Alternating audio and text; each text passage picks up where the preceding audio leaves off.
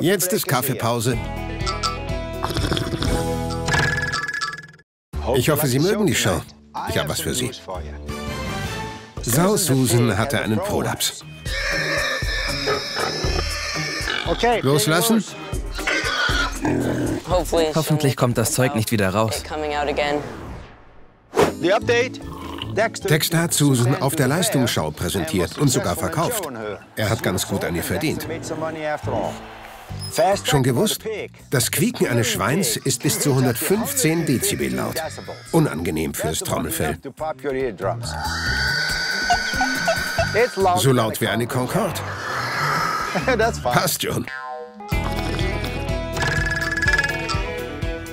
Sie können Dr. Pohl alles fragen. Daryl O, hatten Sie schon mal Angst vor Tieren, die Sie behandelt haben?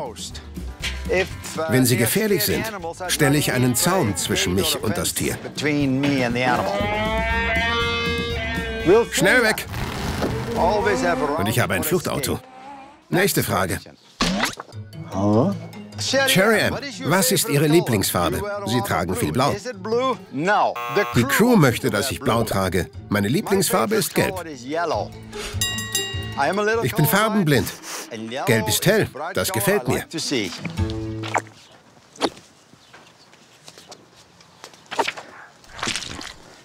Wie war ich? Auszeit. Eine Spinne? Jetzt schwimmt sie in einem Kaffee. Zurück zur Kaffeepause. Gleich kommt Jeff vom Wild Pumpkin Patch zu uns. Das ist ein Streichelzoo. Er hat Izzy dabei. Izzy ist eine betagte Dackeldame. Sie hat eine ganz besondere Aufgabe auf der Farm. Sie kümmert sich um Jungtiere, die noch nicht allein zurechtkommen. Vor allem um Babyziegen. Neugeborene Ziegen sind kraftlos. Sie hilft also der Mutterziege, die Kleinen auf die Beine zu bringen? Genau, sie ist toll. Haben Sie ihr das beigebracht? Nein. Woher weiß dieses Tier, dass die kleine Babyziege Hilfe braucht? Sie weiß es einfach. Hunde sind schlau.